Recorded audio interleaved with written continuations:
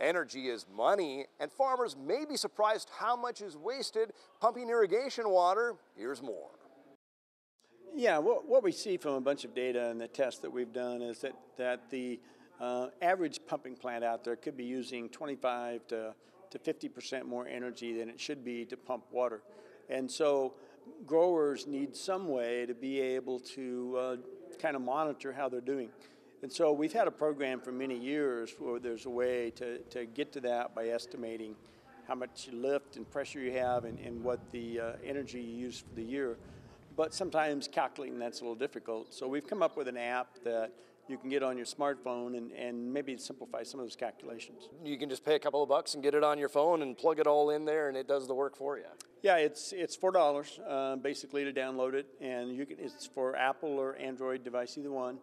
You know, just a way to quickly take a look. We would like encourage people to keep a long-term record though. So once you've used the app, write it down so next year you can see if you're getting better or worse and that kind of thing.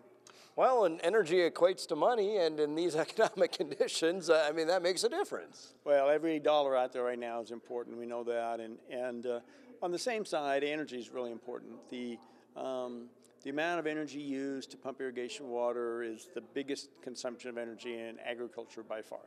And so uh, we also want to look at it from that perspective as well. Maybe this is a, just another tool in the toolbox to help you out with some of those things. Yeah, that's right. And, and the other thing we're seeing is that some of the electrical companies have had uh, programs where they may assist with getting an actual physical pump test done. And so we would encourage people to kind of contact their local electrical supplier and see if they, that particular unit has a program to maybe uh, cost share or assist in getting some of these actual physical pump uh, plant tests done. And uh, you know, it's a good, good investment even in these tough times.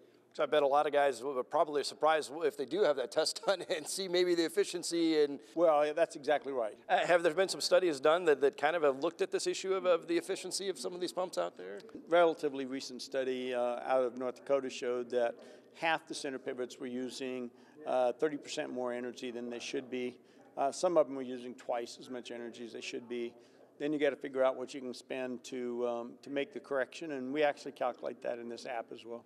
And again, the name of that app? Just go to apps at water.unl.edu and you'll find the apps there. So this one's called Irrigate Pump. Okay. Uh, there's a couple other ones out there you might be interested as well. Okay, Daryl, thanks so much for joining us. Absolutely. Later, Chase County is in the spotlight. That's coming up after weather.